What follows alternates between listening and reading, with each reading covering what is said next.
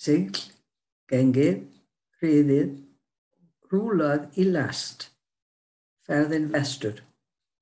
Opið bref frá aðlum á Íslandi 18. ágúst 1786 býðu í að leigja skuli fast postskip til að halda við jöfnum samgöngum millir Íslands og hinna annara hluta ríkisins. Skip þetta skildi vera á Íslandi á vetrum og fara þaðan aftur snemma á vorum.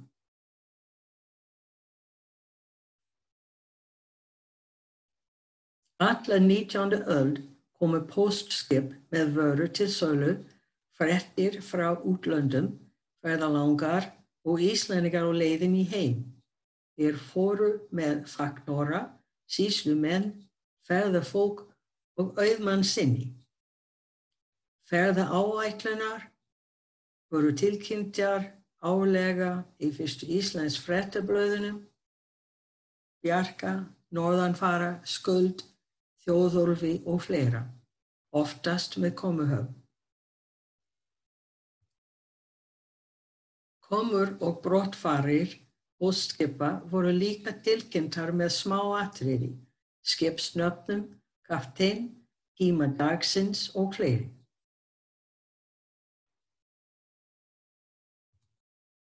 Í upphafi var sigl Danmörk færira Ísland og svo tilbaka en eftir nokkur ár var lið á Skotlandi bætt við, allavega fyrir 1870.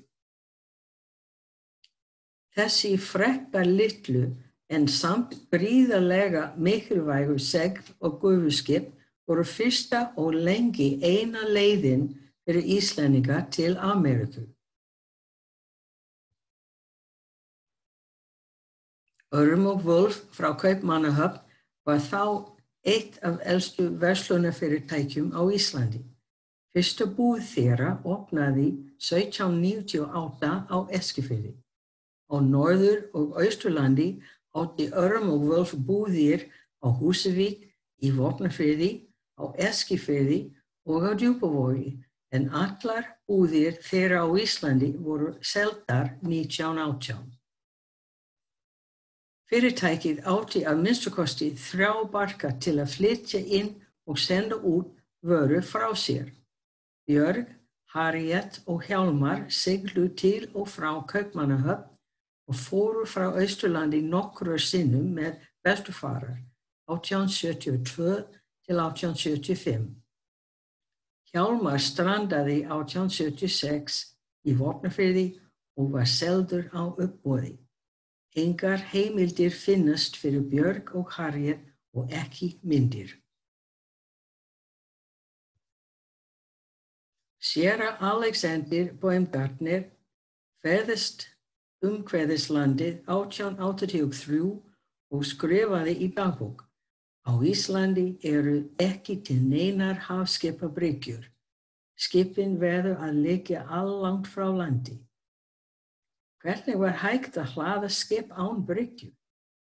Saltfiskur, fjö, hross og vestufarar fóru fyrst í árabáta eða stæri báta kallaðir uppskipunabátar og þaðan út til flutningaskip sem að beði út á fyrði.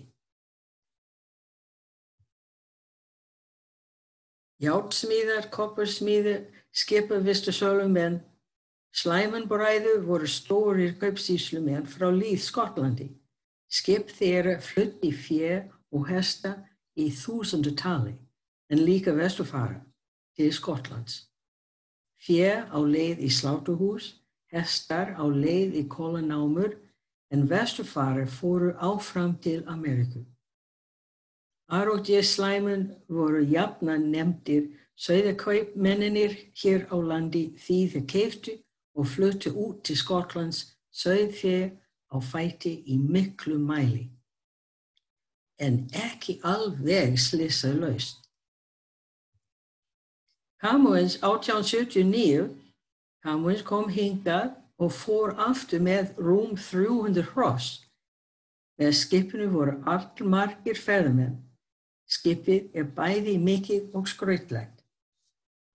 En í 1883 kam hún sigli á Ísjak út af Hornströndum og skemmti störverð. Og í 1884 kam hún strandaði við Okneyjar og var ekki einasta gott orð um Craigforth. Okkur hafði verið sagt að Camoins væri allra besta og þægilegasta skip en staðgengir þess sem hétt Craigforth hafði fátt til síns ágætis. Það var einn göngu ætlað til vöruflutninga og þar sem vörurnar frá Íslandi voru aðalega hestar var skipið stafna milli gegn sitt af hrossa þef. Veturinn eftir strandaði Craigforth í Murray fyrði og vesalingshestarnir druknuðu allir en skipshopnin kom staf. Strand Kóplands 24. júli 1888. Það strandaði í þokku við eina stróma í Pendlandsfyrði 24. fyrir mánuða og komist allt á land heilu og höldnu og meri hluti hestana var líka bjargar, hýndust um hundruð. Á 30. júli 1888 Kóplan rand af skeri og hvar í djúpið og liggur eins og sést á korti.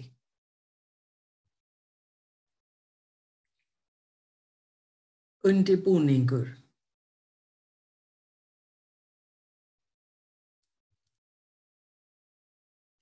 Útflutningsstjórar eða agentar fyrir Eingur og Ellen Línur meðal þeirra Sigfús Eymundsson frá Vopnafriði skráði ferðir vesturfara í postskip.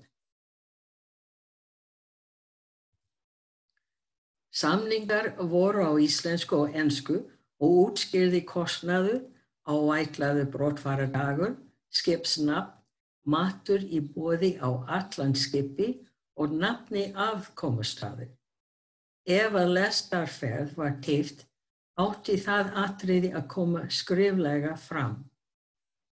Oft var íslensku farastjóri með á leið til Skotlands til að tólka. Margir samningar eru varðveitin í þjólskjálasafni í Reykjavík en líka er hægt að skoða vefsíðu þeirra.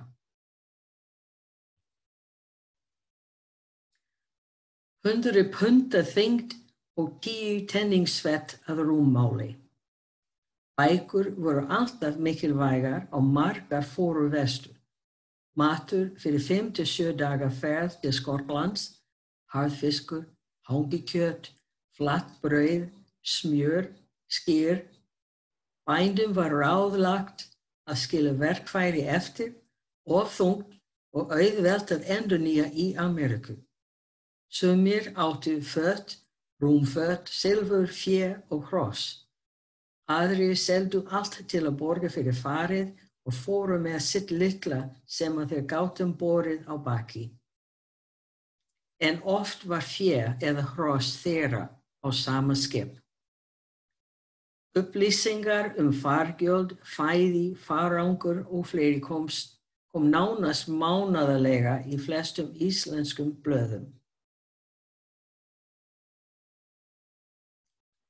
Þá fóru vestufarar. Samningur klár, kista komin um borð, matur og personulegur munir nálægir. Að hera um stóra hafið og lönd er ekki eins og að ferðast frá einum stað til annars vikum, jáfnvel mánuðum saman. Að lesa um járnhest er allt annað en að ferðast í, anda að sér kólriki og reik. Að búa nálægt hafinu er ekki alveg eins og að stranda, stranda á rúlandi dekki. Sjóveiki, hvef, lungnabólga, mögnuð lykt af fjö, hestum og öðrum farþegum.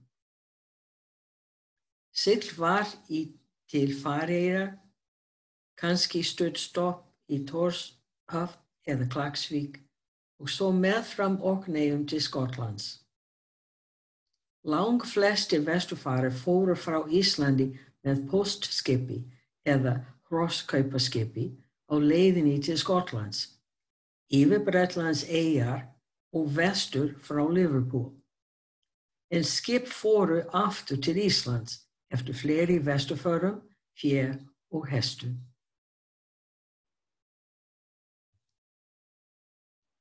Heimahöfn Aródja slæmens skipa var líð en Grandenhopp var líka notuð.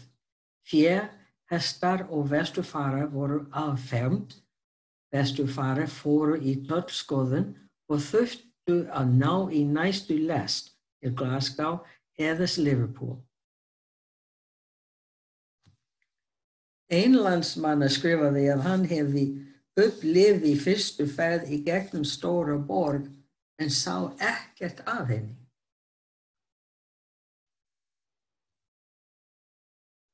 Þú ert hér. Þessi gamla teikning af lestar og hafnarsvæði Glasgow væri fínt púsl. Kvildarskjól voru til fyrir ferðalanga en þeir þurftu að borga fyrir mat eða, eða aðra þjónustu. Á tímabili sem að fólk fór frá Norri voru norsk hjón búsett í Glasgow og ráku skjól í húsi kallað sjómannaheim sem að stendur enn. Sjá törnin í miðri mynd.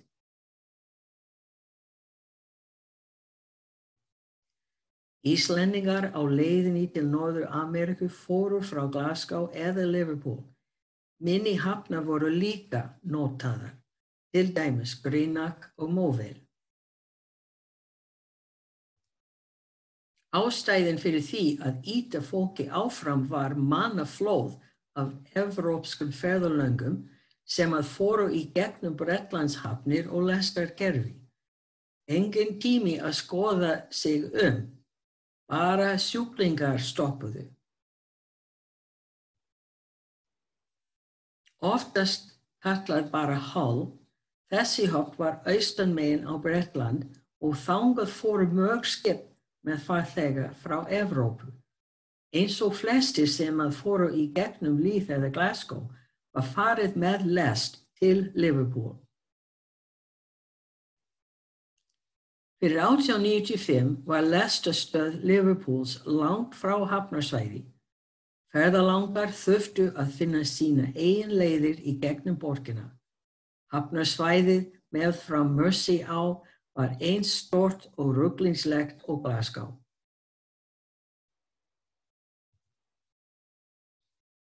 Liverpool var stærsta útflytjandi höfn Evrópu og fimm sinnum fleira fólk fór í gegnum höfnina enn Le Havre. Útflutningsskipin komu daglega, þúsundir fóru í gegnum tollgæslu daglega, þúsundir fóru til Liverpool um borð í næstu last. Eftir tollgæslu var oftast byggð upp í tvær vikur eftir þeirra skiptæmi. Leift var að fara um borð sólarring fyrir brottför. Á meðan vestufari byggðu eftir skipinu var vakað yfir ferðarkistum eða lapaði um bötur nálægt hafnasvæðinu. Flestir farþegar höfðu aldrei séð neitt á stærð við þessi skip. 90 metrar, 100 metrar, 130 metrar, 150 metrar á lengt. Þriðja farrými með plás fyrir 350, 600, 850, 900, 1000 sálir eins og var skráð og plás fyrir 250 eða fleira í fyrsta og annað farrými, skráðu farþegar en ekki sálir.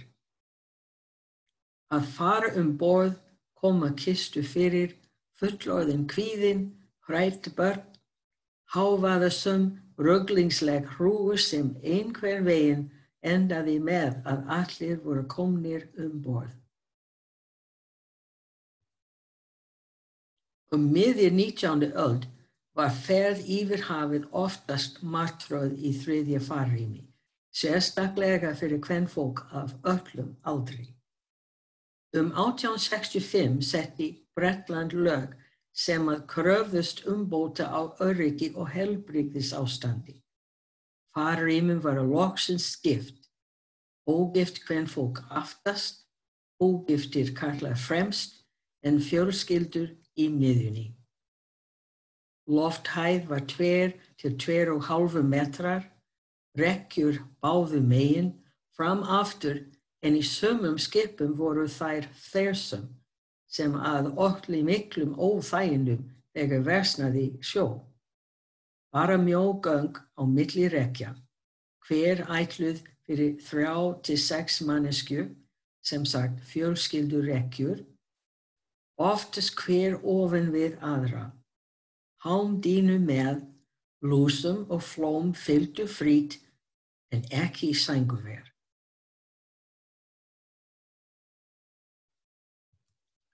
Lífið um borð var samsett af dagsverkum og leikjum. Farþegar voru oftast upp á dekki ef veður var gott. Hvern fólk að þrýfa, elda, sauma, hjúkra veiku fólki, kartlar og börn að leika sér, dansleikur á vikudögum. Oft á sunnudögum var kaftein að halda Guðstjónustu uppi á dekk. Lögin krefis að nógu matu veði til um borð, en orðrómur sagði að hann væri nógu næringagóður bara fyrir þá sem að voru vannir dýramann. Margir keiftu auka matarskamt.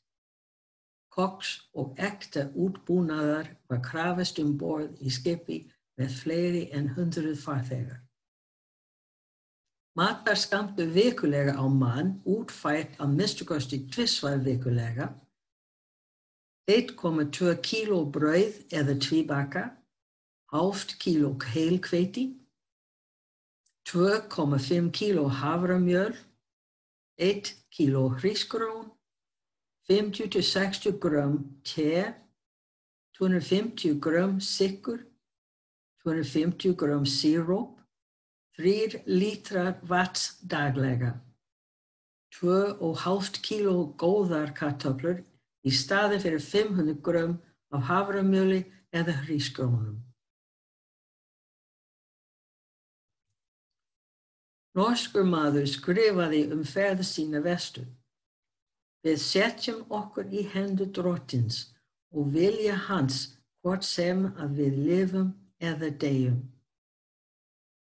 Tómstundir fóru eftir veðri en hljóðfæri kom að góðum nótum í vondum veðrum. Einu sinni var skipið umkring svarta þokku nálægt nýfundna landströnd. Allir lúðrar og trömmur um borð voru nótið til að búa til eins mikið hávaða og mögulegt var til að önnur skip heyrðu. Brygskipið Incognito sigldi 1852 og sagan segir að törverk að farþegum dó en hákallar fylgdu skipinu. Sirkjandi foreldrar horfðu á þá ráðist á lík barna sinna þegar þau fóru í hafið. Nokkrir íslenski námsmenn í Kaupmannahöfn játtuðust trú og voru meðlimi kirkja Jésu að síðara daga heilögu og sneru aftur 1849 til Vestmannaeyja. Fyrsti trúsopnurinn þeirra var þar. 1854 lögðu nokkri nýjir trúfélagar af stað til Utah en fóru fyrst til Danmerkur. Í janúar 1855 fóru 400 skandinavísku trúskiptingar og íslendinga með frá Kaupmannahöfn, siglu til Hull, í lest til Liverpool og þaðan með gufuskipinu James Nesmith. Komið til New Orleans 23. februar eftir 47 daga ferð. Kirkju Jésu Krist hinn að síðar í daga heilugu vildi nýja meðlemi og nýja landsmenn í Utah og sapnaði penningum til að hvetja fólk að fara langa leið og setja stað. En 1856 voru penningarnir húnir. Ódýrar á ráð var sett upp. Fyrir 1860 var leið til Utah í gegnum New Orleans og þaðan á Mississippi á til Nauvoo, Illinois.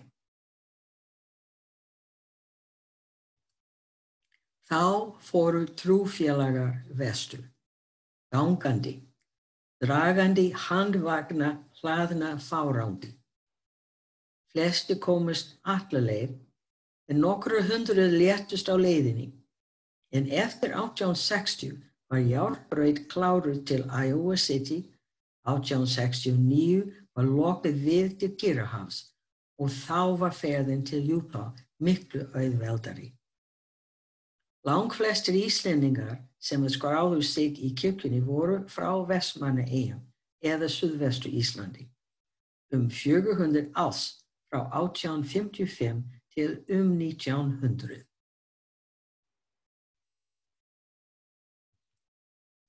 Fyrsti Íslandingurinn sem settist að í Brasilíu fór frá Íslandi 1861 til Kaupmannahafnar en áfram söður 1863. 1873 fleiri en 500 nöfn, flesti þingeyingar, voru skráður tilbúinir að fara og brasilísk stjórnvöld höfðu frít far frá Evrópu til Brasilíu.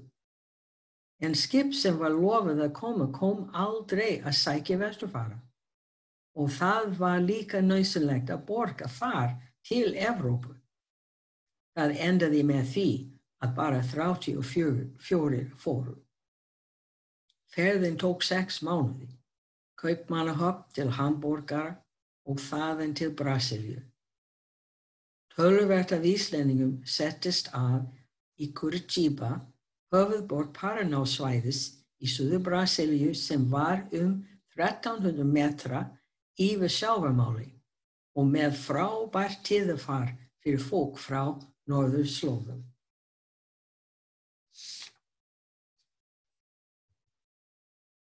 St. Louis á fröys yfir vetturinn og þess vegna lokaðist fyrir skip. Hafnir St. John's á New Brunswick og Halifax í Nova Scotia sáu um innflutning til Kanada og Bandaríkjana.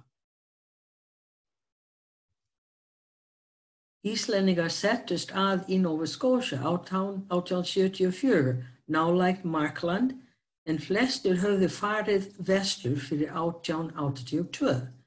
Einn fjólskyldi var eftir. St. Lawrence á er 1223 km og rennur út úr Ontario vatni í St. Lawrence flóa. Hafni með fram St. Lawrence voru með tortbúðir sem að veitu þjónustu, veitingar og skjól fyrir ferðalanga. Seaway eða sjóleið er vatnaleið sem tengir stórvötnin í Norður Ameriku við Allandshaf og liggur um fljót og nokkra skipaskurðir og er undir sameinlegri umsjón Bandaríkjana og Kanada. Flesta ferði frá Quebec borg til Chicago voru stittri en hver og halvur dagur. Á þessu tímabili enduðu kanadísku bröytarteinarnir í Detroit en það var ekki fyrir en 1878 að teinar kláruðust til Winnipeg. Lítil járnbröytafyrirtækja tegust út með fram St. Lawrence. Flest hættu vegna penningaskorts, aðrar hörfu þegar stæri fyrirtækja keiftu þau, til dæmis Grand Trunk Railway. Ontario Simcoe og Huron Railway var eitt slíkt. Stóravatna gufuskipa þjónustu var fáanlegt frá Sarnia, Ontario til Chicago og Milwaukee á Michigan vatn en líka til Port Arthur, núna Thunder Bay, og Duluth við Superior vatn. Fyrir 1878 fylgdu flesti vesturfaras stóru varna leið eða bandarísku bröytarteinunum til Moorhead í Minnesota og þaðan á Rauðá og Gufubát til Winnipeg. Bröytarles til Winnipeg var tengt við bandaríska bröytarteina í gegnum Emerson og þá fór stór faratálmi fólks til Kanada.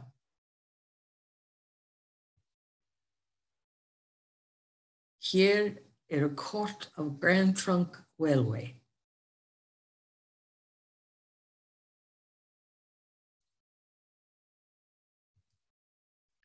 Átján 57 auglýsti Kanadis Grand Trunk Railway þjónustu vestur til Chicago. Anchor og Allen Line farmiði fól í sér bæði sjó og lesta þjónustu með fárangri. Vesturfarar á leiðni til bandaríkjana vildu helst klára tollgæslu í Kanada, fara yfir landamærin og halda áfram vestur með lest frekkar en að finna leið í gegnum anríki hafna austan megin. Transálfu járbröyta þjónusta í bandaríkjunum var kláruð 1869 en bröytir voru nú þegar út um allt norð, austur og miðvestu bandaríki eins og kongulói vefa. Flest lestafyrirtæki meðal annars St. Paul, Minneapolis og Manitoba Railway kepptust að ná visskiptavinnum á leiðin í vestur og norður.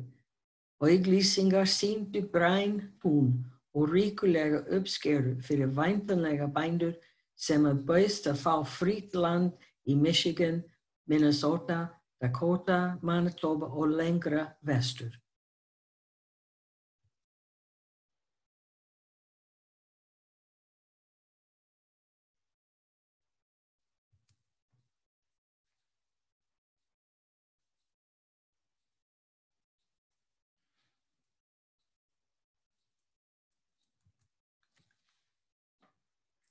Fyrst komu vagnar, 2500 norðvestu fiðlur ferðuðust til St. Paul frá Selberg en postþjónustu til Rauða á Nýlanda var gegnum St. Paul. Rauða vagn dregin af uksa, hesti eða asna var talin besta leiðin á milli þessara staðar 1855. Smíðaðir einungist úr þróskaðri eig, álmvið eða aski og skinni var hægt að ríða þá í sundur og setja á flott yfir ár og voru nógu sterkir til að bera 450 kg og auðvelt að laga. Mikið vægt vegna hálf týrt hjólása gætt brotnað í einni ferð. Fyrstu vestufarirnir munnu hafa séð og hugsanlega notað vagnir til að ná til Rauðádalsvæðis. Gamla vagnaslóðir auður segna nýjar jönnbreytaslóðir á milli St. Boniface við Rauðá og St. Paul. Var hún þekkt og kölluð Pembina Branch og var byggð af St. Paul, Minnesota og Manitoba Railway. Gælu damtið norðvestu fiðlu kemur frá stanslausu ískri á hjólum sem var afar ertendi. En næst komu gufubátar.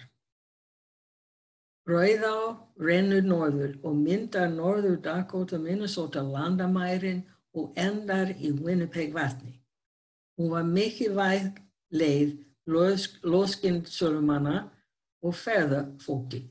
Gufubátar og pramu þjónusta blómgarist til 1886 þegar först þjónusta frá Fargo Moorhead hætti.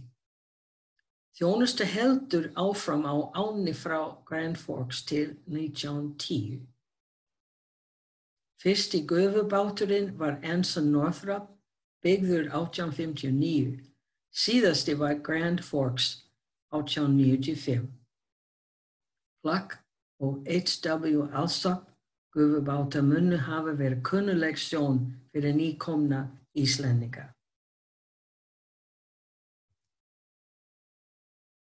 að fá lesta þjónustu til Winnipeg var mikið fagnara efni og hafði mikil áhrif á landnám á grasslettunum. En það hafði dapulegt áhrif fyrir guðskipa þjónustu á Rauðá. Lengi var fólk enn að ferðast með guðskipum og aftur með lest og loksins yfir vatn aftur.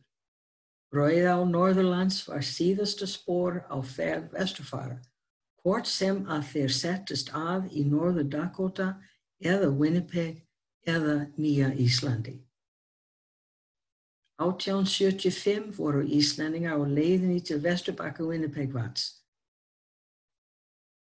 1877 prentaði framfæri fyrsta íslenska blað Norður Ameriku stutt ágrip af ferðum Íslandinga til Nýja Íslands. Fólk fór frá Quebec til Toronto, lest til Sarnia og það er með gufuskipi yfir Huron og Superior Vörn. Þar sapnaðist þar saman í Duluth að kvöldlægi 1. ágúst. Tveggja daga kvíld og þá lest til Fisher's Landing á Bökkum Rauðár. Næst fóru þau með gufuskipi norður og komu til Winnipeg 8. ágúst. Margir fengu atvinnu og örðu eftir í Winnipeg en hinn heldu áfram norður til land sem var í bóði Kanadastjórnar. Þeim og öllum þeirra fárangi var pakkað á stóra slett orna kassa, kramar sem oft voru notaðir á rauðhá. Mótvindur við Winnipeg vatn hafi lendingu til 19. til 20. águst. Margir erfi leikar að baki. Óþektir erði leikar framundan. Íslandingar voru mjög þreytir eftir ferðina en þeir sem að heldu áfram norðu meðfram rauð á voru umkringdir af að fögru nýju heimalandi. Kanski ofþreyt til að hugsa um neitt. Margir erfiðleikar að baki, óþektir erfiðleikar framundan. Íslandingar voru mjög þreytir eftir ferðina en þeir sem að heldu áfram norður meðfram ræð á voru umkringdir af að fögru nýju heimalandi. Kanski ofreit til að hugsa um neitt nema erfiðisvinnuna sem að beigð þeirra. Bara ef að börnin og barnabörnin geta notið góðs af því.